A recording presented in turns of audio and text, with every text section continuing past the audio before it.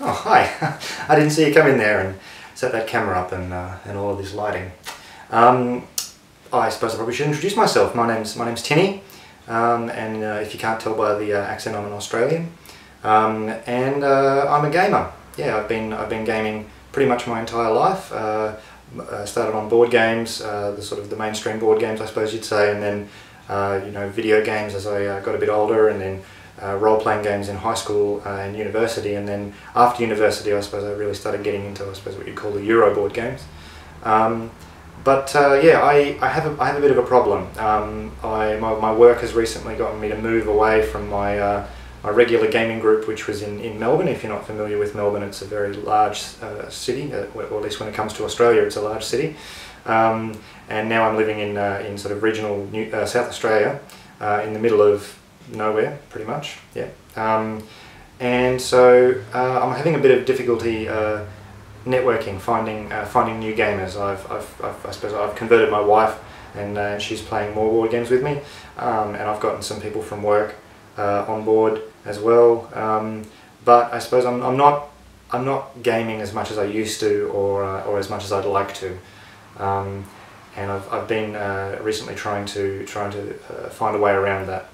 So in, in trying to uh, solve this problem, I've, I've, started spending more time online. I've been going through uh, some online game forums, um, mostly through Board Game Geek and uh, RPG Geek. Um, and um, I've been spending a lot of time on YouTube, um, watching a lot of uh, board game related videos, um, you know, things like uh, the Dice Tower and uh, Board Games with Scott when that was running before, um, and Two Guys and Some Cardboard, which is another really good new one if, if you haven't seen it yet. Um, and recently, um, say within the last couple of weeks, I was uh, I was looking online I, I came across this series um, called Watch It Played um, with Rodney Smith. And um, watching these videos, and um, if you haven't seen them, I really, really do suggest you uh, you check them out. They are they're, they're really something else. He's uh, mm, he's got a real love for board games, and and he, and he does this show with his with his kids where he sort of explains the board game to you. It, it's it starts similarly to a lot of other review shows where they you know they run through how the like how the game is played, I suppose, and and the componentry of the game. But then they really go a lot further than that, and they actually play through the game, and they'll they'll usually well, they'll either go a turn a, turn a video, uh, or they will um, have a, have a couple of turns in a video, and then the the thing that really really captured my uh, my interest was they he, he actually engages with his with his YouTube public and and has them submit moves for um, for for uh, other players in the game. And it was that uh, that aspect, the, the, the having the online interaction, uh, that that really uh, captured me, and uh, and it was it was something that, that got me to to watch through them. I, I only recently came across, across the videos, and so I've, I've been sort of voraciously uh, watching as many as I can. Um, and now now that I've now that I've come into it, he's uh, he's gone on on a holiday with his wife. But you know, I suppose we can't begrudge him that. So Rodney's series really got me thinking uh, that maybe uh, maybe I could do something uh, along the same lines, or or, or, or use his idea to uh, to, to play a, a, to have a bit more gaming. Um, so what I've done is I've um, I've taken inspiration from it, or I suppose uh, directly plagiarized his idea.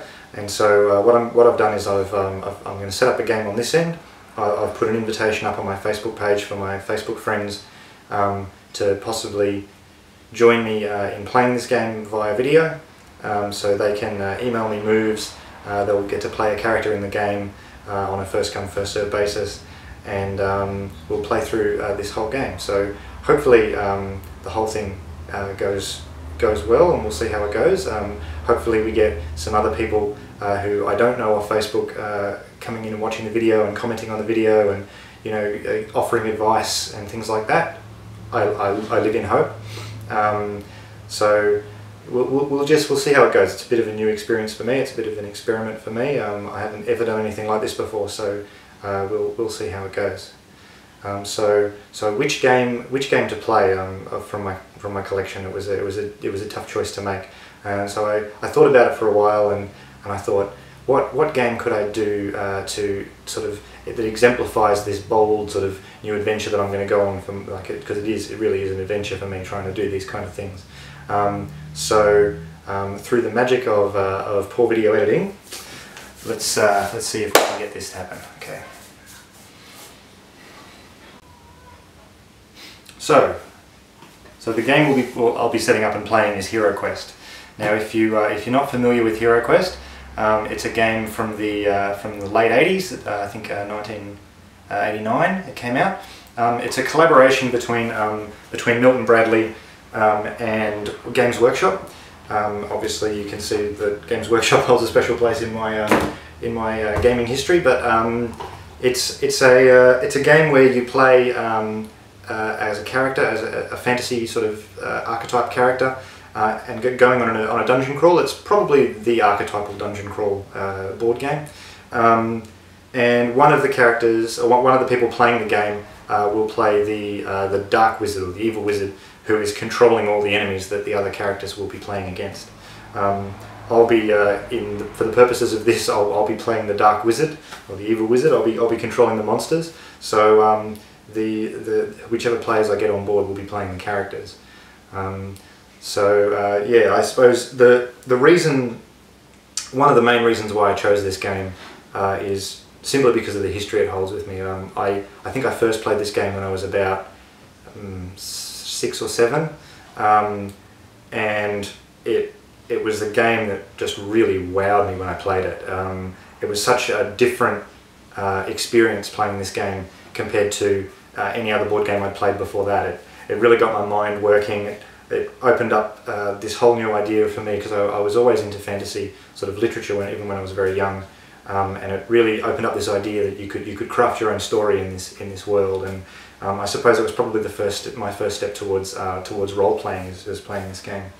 Um, so what I'll do now is I'll um, I'll give you a quick rundown of the characters that you have the choice of playing, um, and uh, we'll go from there. Okay, so there's there's four characters you can choose from to play in the game um, or at least there would normally be. Um, since filming the first part of the video, I've actually had uh, confirmation from one of my gaming friends in Melbourne that he wants to play along. So, and he's already chosen his character. So he will be playing uh, the Barbarian. Um, this character is a uh, obviously a, a, great combatant. Um, he's not magical in any way, but he'll be uh, someone who can stand up the front and take a lot of a lot of hits. Um, and dish out some real damage. So, so we've already the uh, barbarian has already been taken off the table. The second one I'd like to show you is the, uh, the dwarf. So this is the first, first option for anyone who wants to play, is the dwarf. Now um, the dwarf is also another good uh, combatant.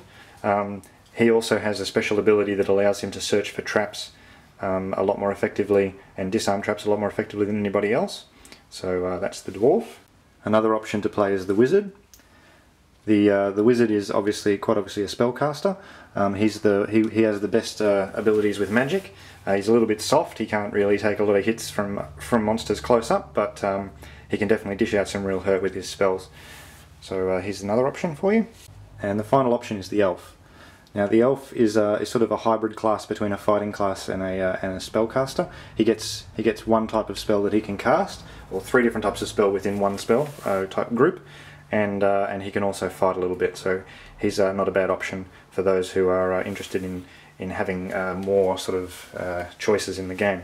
Um, now, if you if you're screaming out for more information on this game, I'm sort of deliberately keeping it a bit vague. There is a lot of information out there, and I will be going through um, the setup and the basics of the game in the next video. Um, but I just sort of really want people to make their decisions based on the archetypes that they'll be playing rather than the specifics of mechanics or, or gameplay or anything like that. So I guess I'll sign out here. Um, yeah, hopefully I get some I get some bites and, uh, and this will go somewhere. So thank you for watching um, and hopefully I'll see you soon down the track.